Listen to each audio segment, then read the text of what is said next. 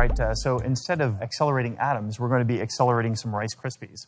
Uh, and so the first thing I'm going to have you do is I'm going to have you step on this insulating column so that the charge that builds up on you doesn't recombine with the opposite charge in the ground.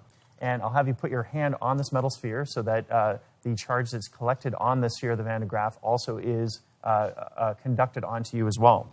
And I'm going to have you uh, hold out your left palm, and I'm going to pour some Rice Krispies in there. And I'm going to have you gently close your hand.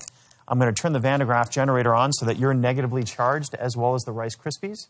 And then I'm going to have you gently open up your hand and uh, flatten out your palm uh, as you extend your arm. So we'll see what effect all that negative charge has on the Rice Krispies and you. You ready, Dave?